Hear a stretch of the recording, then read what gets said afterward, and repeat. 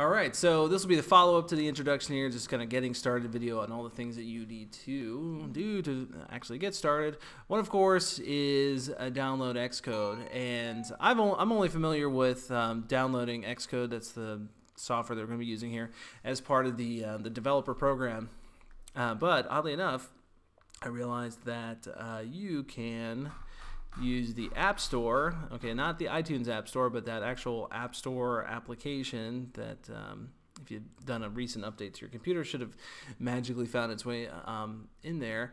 And so this is the App Store I'm talking about. Oh, this guy right here. All right. And if you type in Xcode, you should find it right here. Da, da, da. It says it's free, and oddly enough, it gets horrible, horrible reviews um, people talk about it crashing and, and never installing and all this stuff. So I'm a little bit weary about recommending that you guys um, go and install it through there. Who knows? Maybe you won't have a problem. But um, I've never had a problem installing it from the official Dev Center. So after you do sign up and enroll, um, it you know one of the best things about it is it does give you the right to actually upload your applications um, for free or for sale to the App Store. So uh, sooner or later, you're going to need it. I, I think you're going to want to do it. But uh, this is a screenshot of what uh, gonna, things are going to look like after you sign up. And we'll talk a lot about the provisioning portal uh, later on. Getting access to that absolutely is essential, really.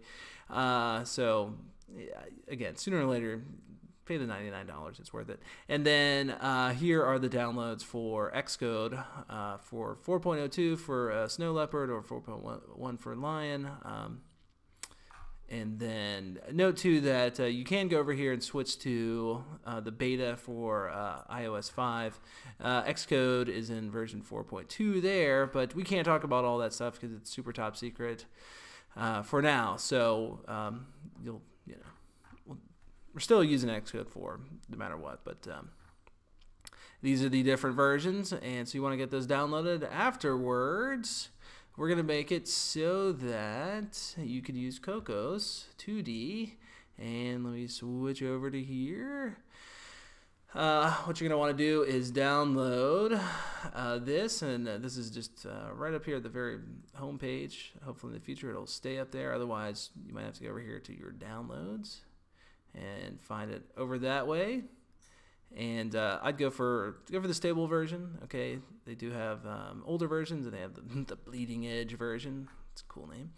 Uh, but uh, let's talk about uh, how to install this after you have uh, downloaded it.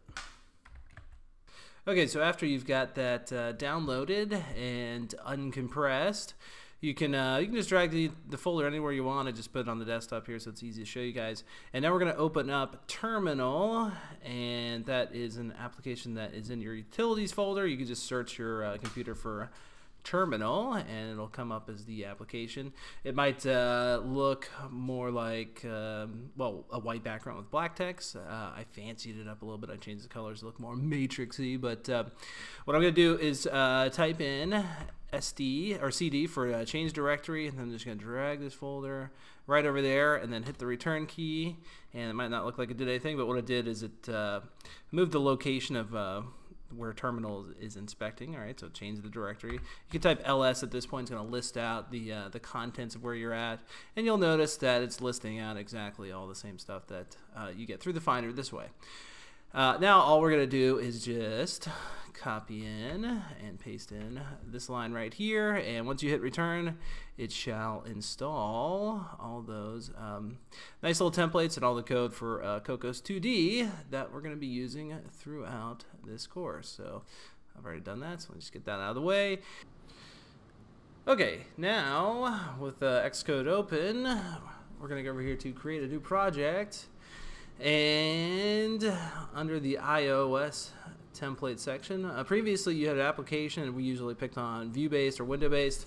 Now, we're going to go over here to Cocos 2D, click on this, and let's just call this product name The Basics, all right, because that's what we're going to be going over before we handle any sort of uh, application like a flipbook.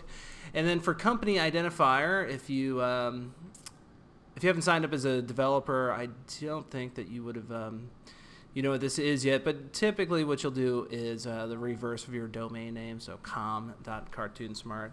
Uh, otherwise, uh, I believe you're safe to get away with just leaving it blank for now. Um, but if you're just tinkering around, I guess you could kind of put in, um, I suppose, anything. But um, you should have that from your uh, your developer portal. Anyway, go over here to next, and we are just uh, let's just save this to right here, create. And there we go.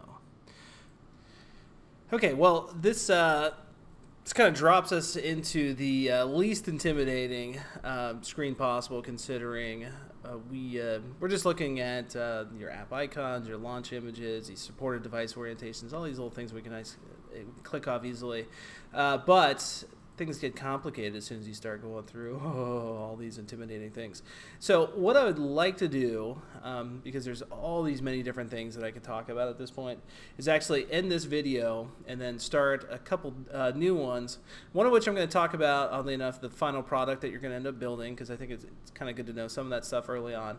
So I'll call that getting started underscore um, the actual app or final product, whatever.